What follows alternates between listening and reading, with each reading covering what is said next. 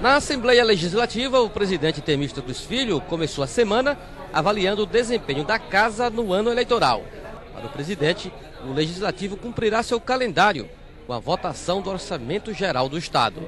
O trabalho na Assembleia só encerra lá para o dia 20 de dezembro, onde nós vamos votar o orçamento do ano de 2011, que é a peça mais importante é onde diz onde serão feitas estradas, hospitais, onde o, onde o governo vai investir os recursos é, de 2011. Para 2011, Temístocles Filho já tem pronta a mensagem para os novos deputados. Cada deputado novato que o povo elegeu, na certa ele tem os seus compromissos, tem as suas ideias, os seus planos, o que é que ele, a, na áreas que eles pretendem atuar, é desse jeito. Não é nada fácil.